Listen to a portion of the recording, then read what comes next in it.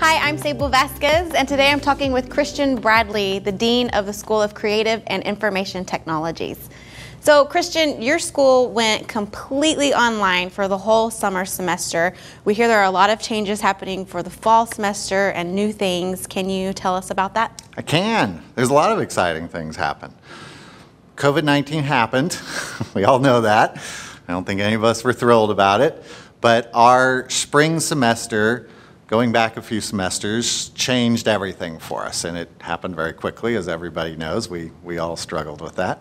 But we learned a lot from it. And one of the things that we did was talk to our students. I can honestly tell you I've talked to my students more in, since they've been off campus than I did when they were on campus. And we learned that the students wanted certain things from their online classes that we could provide, but we, we were probably overthinking it. There were some really simple solutions we could make going into this semester that we quickly put in place, trained our teachers for, and it's been successful. So let me tell you a little bit about what those were. One of the things that we did was we put in place our classes in the CT department now meet at the same times that they normally were scheduled to meet. So just like their on-ground classes that they're very much used to and the ebb and flow of classes for them, we've put in place online. Now it's not mandatory. We didn't want to do that because their lives changed too. But about two thirds of our students in CT are attending classes at the very same time they normally would in Zoom. Um, another thing that we've been doing is we've mandated that the follow-up to student questions, which is normally 24 to 48 hours online, that's a school rule, we already knew that, but that's a long time when you're talking about critiques.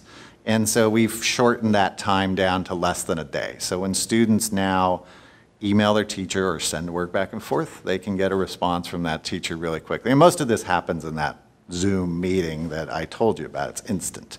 Um, and that's probably something we're going to keep moving forward. I don't know how we'll use that. We don't quite know when this will end. But that's an example of some of the things that we've really learned that we're going to keep. I think that's some really good teaching innovations that came out of this.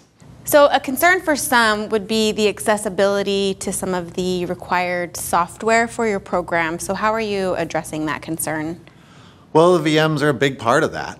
Um, our open labs, certainly, but the, the VMs allow those students access to any of the software that we have on campus. Now, different softwares have different solutions, but at this moment, with our beta just rolled out, students have access to all the software that they would normally have on campus at home on machines that are less powerful than the machines that we have in our labs.